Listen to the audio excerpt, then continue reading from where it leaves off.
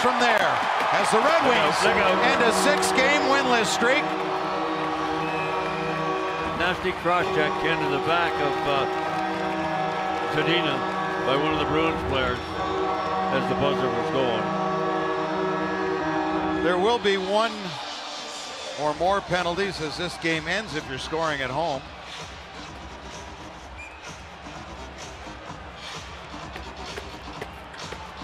So a season high 50 shots surrendered, a career high saves in 47 for Nedeljkovic. The goat. They're not done. Sorry, Kenny. They're Yeah. not done yet.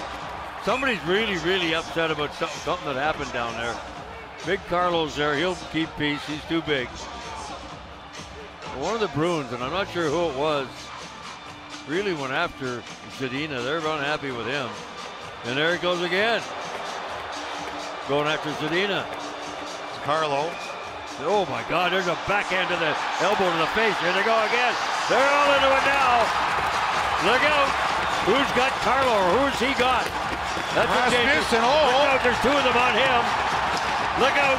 And the benches are, they want to come on the ice. And the referees sending both teams back to their respective benches. Nedeljkovic is out to the right. Swayman's at center ice. Boy, we've seen this before, Ozzy.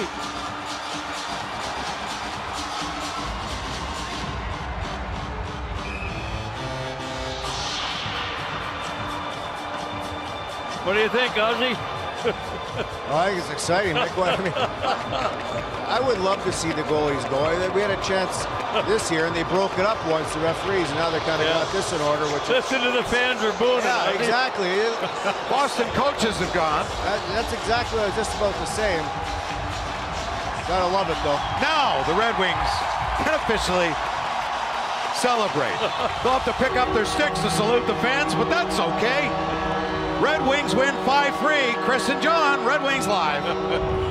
Well, it's something when they have to pick up their sticks to salute the crowd in attendance, and the crowd won't leave because there you see some of the reactions from Patrice Bergeron and company. They're not ready to leave the ice here at Little Caesars Arena as they came up short to the home team. The Wings win this one by a 5-3 final, and some of the bitterness that has been a part of every original six game that the Red Wings have played was certainly evident uh, tonight.